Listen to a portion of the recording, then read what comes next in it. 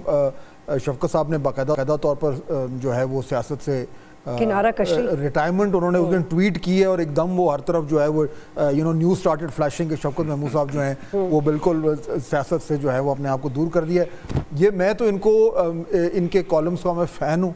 और मैं जब से इन्होंने लिखना छोड़ा था तो मैं बड़ा बोर होता था तो लग, मेरे लिए तो पर्सनली ये गेन है कि I can now read him again because is back in to writing and I am sure कि अभी के स्टेंट के बाद इनकी राइटिंग में और ज़्यादा जो है वो डेप्थ और इनरिचमेंट आ जाएगी। देखते हैं कि उसमें से कितने when does you start to actually spill the beans मैं तो उसी उस चीज़ का वेट हाँ। कर रहा हूँ।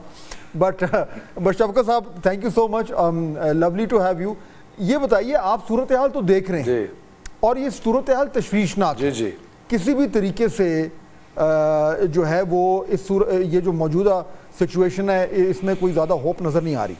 ये जो कॉन्फ्रेंटेशनल मामला हुआ है शफका साहब आप बिल्कुल इनर सर्कल्स में रहे पाकिस्तान तहरीक इंसाफ के और हमेशा से हॉक्स और, और डव्स की एक कशमकश रही है और वो पॉलिसी में रिफ्लेक्ट करती है। अभी क्या नज़र आ रहा है आपको? इस वक्त जो पीटीआई के ऊपर जो हालात आए हुए हैं उसमें हॉक्स प्रिवेल कर रहे हैं या डव्स प्रिवेल कर रहे हैं?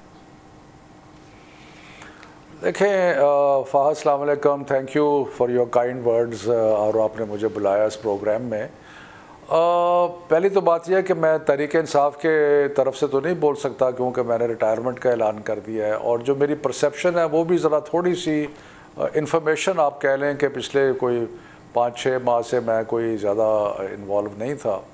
लेकिन खान साहब क्योंकि जेल में हैं इसलिए उनके साथ कम्युनिकेशन भी लोगों की मुश्किल है इसलिए जो लोग बाहर आते हैं वही आके कहते हैं कि जी उन्होंने ये कहा। कई दफ़ा वो कॉन्ट्रडिक्टरी बातें भी होती हैं।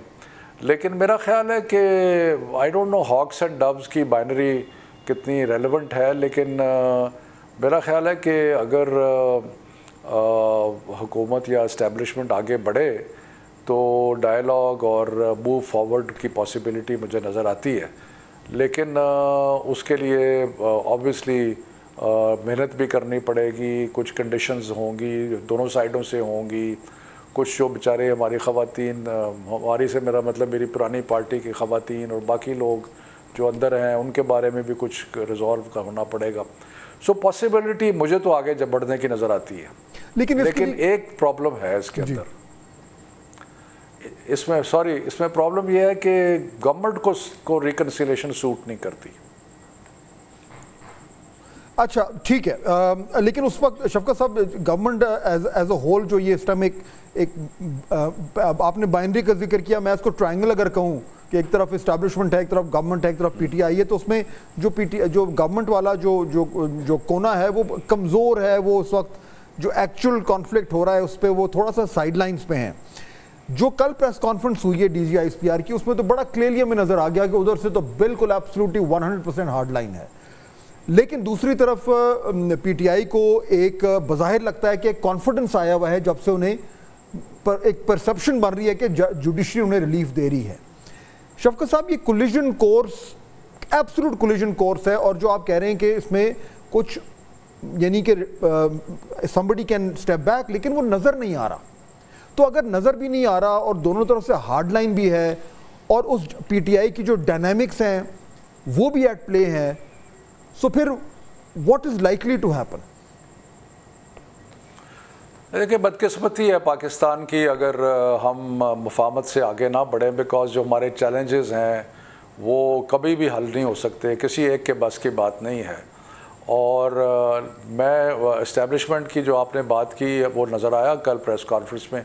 मैं सिर्फ़ ये कह रहा हूँ कि अगर उधर से कोई कदम रिकन्सिलेशन का बढ़ाया जाए तो मेरे तजिए में, मेरी परसेप्शन में तरीके इंसाफ उसको रिस्पॉन्ड करेगी। और उसके उसके लिए जो भी बातचीत है। लेकिन अगर हार्ड लाइन्स हुई तो फिर तो फिर तो आगे बढ़ने का कोई स्कोप ही नहीं है। और जो आप कह रहे हैं ना कि ये हुकूमत जो है वो वीकर पार्टी है वो है वीकर पार्टी लेकिन हुकूमत का कतन इंटरेस्ट नहीं होगा कि वो ये बात आगे बढ़े और इसलिए कि सेंट्रल क्वेश्चन तो फेबरी एट का इलेक्शन है। कि जी वो एक रिग्ड इलेक्शन था और उसकी वजह रिग्ड इलेक्शन की वजह से ये लोग आए तो जो सेंट्रल क्वेश्चन है उसके अंदर तो कोई कोई भी डायलॉग होता है तो वो P, P, P, P M L N के लिए ख़ास तौर पे एक ज़ीरो सम गेम है। तो मेरा ख्याल है कि वो भी एक डिफिकल्टी है चाहे वो ठीक है शफकत साहब ये नुकता आपका आ गया। मैं मैं ये चूँकि हम पीटीआई की सियासी हमत अमली की बात कर रहे हैं और आप बहुत करीब रहे हैं तो मैं आपसे ये जानना चाहती हूँ कि ये आप इसको कैसे ट्रांसलेट करते हैं? क्योंकि पीटीआई ने किस पार्टी के साथ इतिहाद करना है? इस पर कन्फ्यूज़न कैमरा के सामने क्या बोल रहे हैं? कैमरा के पीछे क्या बोलना है? इसके ऊपर कन्फ्यूज़न डायलॉग्स करने हैं नहीं करने इसके ऊपर कन्फ्यूज़न डेस्परेटली कन्फ्यूज़न अपने आप को रिप्रेजेंट नहीं कर पा रही पीटीआई एज अ पार्टी लेकिन जब ये बात आती है कि D G I S P R उनके बारे में बात करते हैं और फिर राजा साहब कहते हैं कि हम अपने मौक़ से पीछे नहीं हटेंगे उसका ग्राउंड क्या है? क्योंकि क्लैरिटी तो पार्टी में है ही नहीं। और किसी भी इशू पे मौक़ है ही नहीं, एक यकसा तौर पे जो एक ही बात हो रही हो। तो तो जब ये कहते हैं कि हम अपने मौक़ से पीछे नहीं हटेंगे तो वो एग्जैक्टली exactly क्या मौक़ है जिसकी सलमान रकम राजा साहब बात कर रहे हैं? क्योंकि क्लैरिटी उसमें भी नहीं है। देखिए, सलमान अकबर राजा पता नहीं पार्टी के हाफ़ पे बोल भी सकते हैं या नहीं बोल सकते। लेकिन प्रॉब्लम ये प्रॉब्लम देखें ना डिफ़िकल्टी मुशावरत की कितनी है कि खान साहब जो हैं, उनको शायद हफ़्ते में दो दिन चंद लोग मिलते हैं आके, और वो भी एक बड़े कंट्रोल्ड इन्वायरमेंट में बातचीत नहीं हो सकती। शाह महमूद कुरशी साहब वाइस चेयरमैन हैं, वो भी जेल में हैं। उसके अलावा जो पंजाब को इस वक्त हमाद अज़हर रिप्रेजेंट कर रहे हैं, वो भी गायब हैं। सो मकसद मेरा ये है कि वो जो जिस किस्म की मुशावरत या वो, उसकी तो एक फ़िज़िकल पॉसिबिलिटी मुशावरत की जो है ना, वो नहीं है। और देयर फॉर ये ये भी कन्फ्यूज़न हो जाता है कि जी कौन पार्टी के बिहाफ पे बात करेगा। अब सलमान राजा कोई ऑफिशियली डेजिग्नेटेड स्पोक्स पर्सन नहीं है पार्टी के। असद कैसर साहब का स्पीकर हैं कभी वो बात कर देते हैं। आ, लेकिन अगर टेक्निकली देखा जाए तो ओवर अयूब जो सेक्रेटरी जनरल हैं वो आ, और गौहर खान जो चेयरमैन हैं उन उनकी तरफ़ से ऑफिशियल रिप्लाई आना चाहिए। लेकिन ऑब्वियसली एक पक्यूलियर सिचुएशन है ना। ये कोई नॉर्मल सिचुएशन तो नहीं है जिसके अंदर पार्ट, पार्टी ऑपरेट कर रही है। सो so, इसलिए ऑब्वियसली उसके अंदर डिफिकल्टीज हैं मुशावरत अच्छा, की डिफिकल्टी इसमें इसमें जो एक डिफिकल्टी so, है कन्फ्यूज़न नज़र आता है। हाँ। शफका साहब एक जो डिफिकल्टी है जिसका कल आपने भी ज़िक्र किया मैं आपके इंटरव्यू सुन रहा था। आपने कहा कि क्या आपके तजुर्बे में सत्तर फ़ीसद सियासत जो है वो जमात के अंदर होती है और तीस फ़ीसद सियासत जो है वो जमात के बाहर होती है।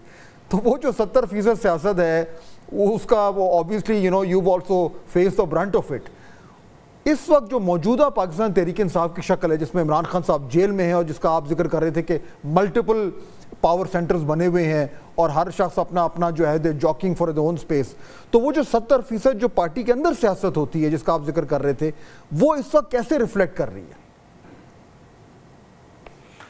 देखें जी, जो मुझे समझ में आता है, क्योंकि मेरे साथ तो रबता शायद आपको हैरानी हो कि मेरे साथ कोई ख़ास रबता नहीं था पिछले कई माह से।